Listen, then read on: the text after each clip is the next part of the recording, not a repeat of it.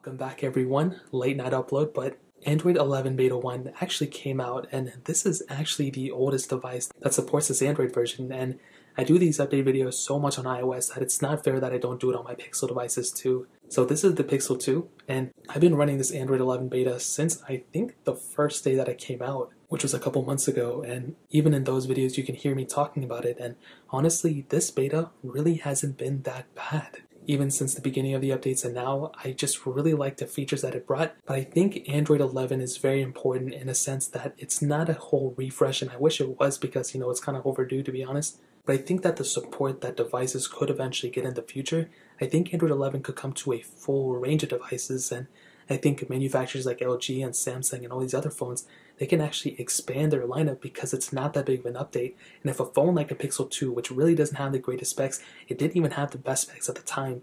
I mean, if you look at it, it really doesn't look that great. I mean, it looks pretty outdated, it has pretty big bezels on it. But if a phone like this is still able to get this specific version of Android, I really don't see why a phone like a Galaxy S8 in the future couldn't get Android 11, or even a phone like a Galaxy S9. That's technically the last version getting Android 10 right now from a phone, and I feel like if the Pixel 2, like I said, can do it, that came out in 2017, a lot of other phones that came out in 2017, including the Galaxy S8, could easily support this version of software. So that was a long-winded intro. What I can tell you about the software is I think it's actually pretty good so far, and it's been extremely stable since the first version that I installed into it, which was Developer Beta 1, to the full Beta 1 that's publicly available.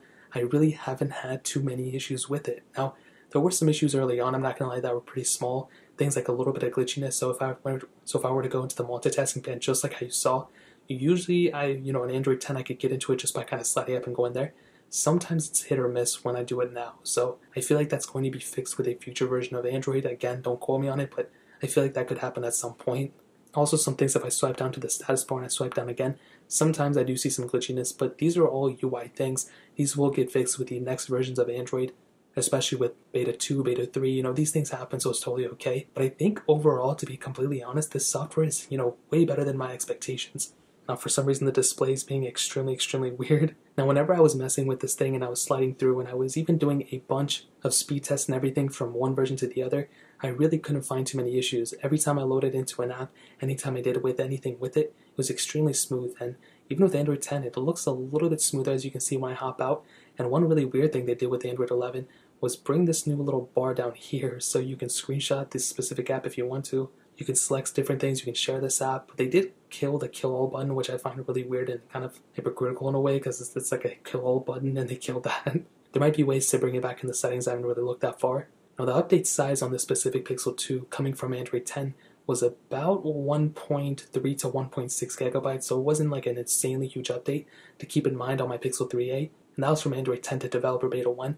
Right now on my Pixel 3a, going from the Android 10 latest version to the full beta was about 1.6 gig, so it's going to be around that size on the Pixel 2 as well. So as long as you have that much saved, you'll be set. And I'm sure if you have a Pixel, you're utilizing your Google Photos and Google Drive and all those different things. So I'm sure you'll have that space on your phone too. So battery life has been, I guess, more or less the same. I haven't really been using this phone a crazy amount on battery life alone, so keep that in mind. But I will say, I mean, it's been having a weird charging issue. I don't know if it's associated with Android 11 Beta 1. I'll have to look into it, but I don't think it is. Maybe, like I said, I haven't been using this phone a lot, so maybe I bought this phone and had that issue and I just now found out. But I will get you guys an update sooner than later.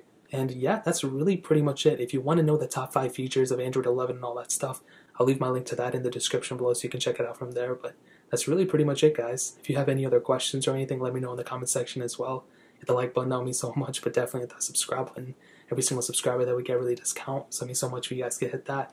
Also, check out the other links down in the description as well. My Twitter, my Instagram, my second channel, all those things are linked down below. I'd really appreciate if you guys check it out. Look at my Twitter, that's right here. But more importantly than everything else, I love every single one of you guys. Hopefully I'll catch you guys in the next video. Peace out.